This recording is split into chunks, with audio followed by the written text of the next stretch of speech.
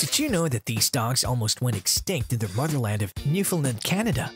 Or that London's most famous dog in entertainment during the 1800s was a Newfoundland? Interested in learning about how one legendary Newfoundland saved 27 people from drowning in the most dangerous rivers in Wales? If questions like these intrigue you, stick around.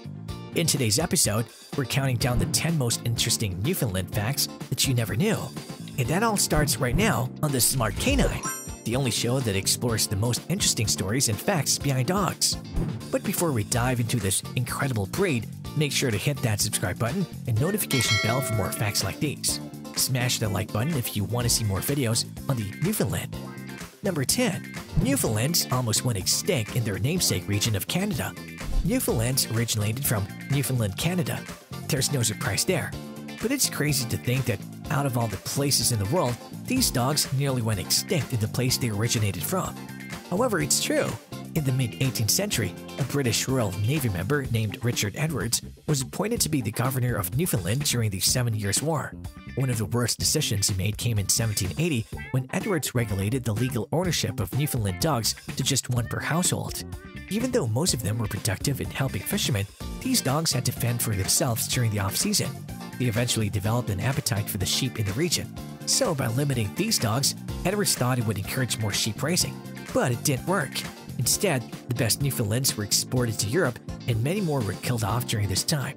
Despite this, I'm happy to say that the Newfoundland population in their motherland is currently thriving and well. Number 9. The largest Newfoundland ever recorded was 7 feet tall. There is no denying that Newfoundlands are big dogs. However, one Newfoundland named Boomer may actually be 7 feet tall when standing up. According to the owner, Boomer weighed 180 pounds. And when standing on all four legs, he's roughly 38 inches tall at the shoulders. This may sound impressive, but a Great Dane named Zeus actually holds the record for tallest dog ever, coming in at 44 inches tall. However, when Zeus was just a puppy in 2009, Boomer the Newfoundland was most likely the tallest dog in the world for that period of time. Regardless, he's the largest Newfoundland ever. Number 8. These dogs were originally bred for working with fishermen. When you first take a look at these massive dogs, it's hard to imagine they were once the trusted companions and work dogs of fishermen. However, it's true. In the late 19th century, Newfoundlands were crucial for fishermen in Canada. They lived primarily in boats during the fishing season, and they would help with various tasks such as pulling fishing nets from the water and hauling heavy carts around the vessel. These dogs are so strong that they've been known to pull small boats onto the shore using just a rope. And if a crew member ever fell overboard, they would count on the Newfoundland to jump in and provide some assistance. They were truly the ultimate multi-purpose working dogs for fishermen, which explained why their popularity soared in Newfoundland and Labrador in Canada. Number 7. Newfoundlands have all physical traits that make them excellent at swimming. So, why do you think past fishermen made the Newfoundland the breed of choice for their line of work? They didn't just pick these dogs because it was convenient, rather because they were strong dogs, but most importantly, they had all the physical qualities that make them superb water dogs. For example, they had web feet which helped them efficiently tread water. Don't forget about their thick, water-resistant double coats. Not only does their coat help keep their vital organs warm, but it also helps them endure cold temperatures out at sea. And finally, these dogs are strong with a lot of power coming from their legs. Their muscular frame helps them propel through water with relative ease. It's no wonder they're the top choice for fishermen. Number 6. Water rescue tests show that many Newfoundlands have the instincts to save someone in the water. With such an amazing and effortless ability to swim, it would be a shame if they didn't also act as lifeguard dogs. In fact, most Newfoundlands have the instincts to save a drowning person. The American Kennel Club holds thousands of specialty tests every year that tests the instincts of various dog breeds in all types of sports and abilities. Newfoundlands participate in trials that showcase their life-saving instincts. These dogs are trained for and showcase their abilities to rescue unconscious victims, search for an abandoned boat, rescue multiple victims, help a capsized boat, and much more. If your Newfoundland successfully completes all the trials, they'll be awarded with the Water Rescue Dog Excellent title. So, do you think your Newfoundland can do this? Number 5. A Newfoundland saved Napoleon Bonaparte from drowning. According to the book Canine Courage by Tiffin Shoemake, an unnamed Newfoundland saved Napoleon from drowning in the sea. This incident took place in 1815 during Napoleon's famous escape from exile on the island of Elba.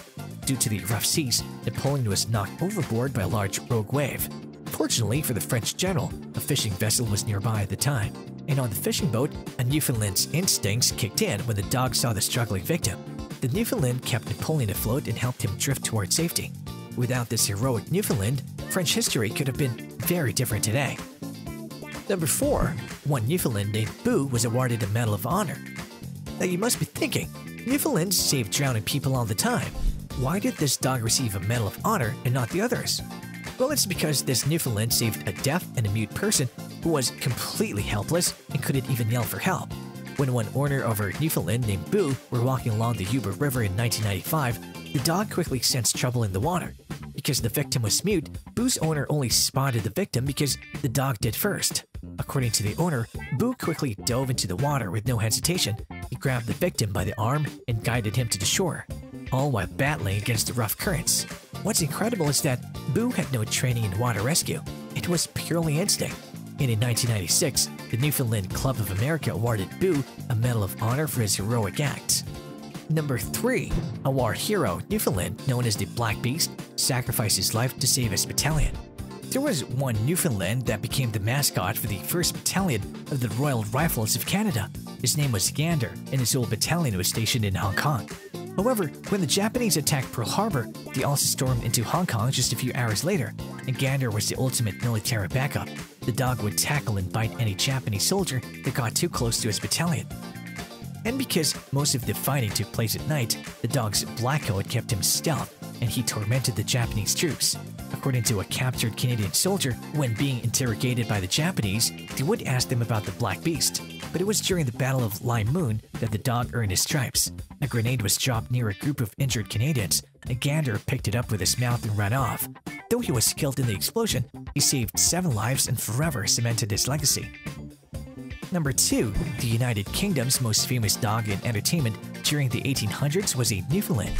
When you think of circus dogs, Newfoundlands don't usually come to mind, but in the 1800s, London's arguably most famous dog in entertainment was one. To the public, he's known as Napoleon the Wizard Dog. The show debuted at the world-famous Pavilion Theatre in 1862, and according to his owner, Napoleon only needed to seek the trick once to learn it. He was a crazy fast learner. The Newfoundland had an arsenal of tricks, such as playing cards, dancing, leaping over obstacles, and jumping through hoops.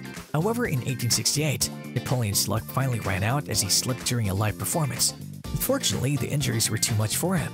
When he passed away, Napoleon's owner said that he was the greatest loss he had ever experienced in his life. Number 1. A legendary Newfoundland saved 27 people from drowning in Wales' most dangerous river. Perhaps one of the most famous and legendary Newfoundland is the one named Swansea Jack. Jack and his owner lived in Swansea, Wales during the 1930s. They lived near the River Taw in North Docks area, where locals described it as the most dangerous river in Wales. Jack's first rescue was a 12-year-old boy, though no one was there to see it. But just a few weeks later, the dog saved another man in front of a full crowd. He quickly became a local hero and was awarded the Silver Collar for his heroic acts. Over the next decade, Jack had saved at least 27 victims from drowning in that river. Some locals suspect that the number is actually a lot higher though. When he finally passed away, Jack may have been the most decorated dog. Not only did he receive the Bravest Dog of the Year award, but he also received a Silver Cup, and to this day remains the only dog to receive two bronze medals by the National Canine Defense League. Is there a canine hero more impressive than Swansea Jack? So, did we miss any good facts? Let's know in the comment section below. And if you enjoyed this video, consider subscribing to the Smart Canine for the most interesting stories and facts behind dogs.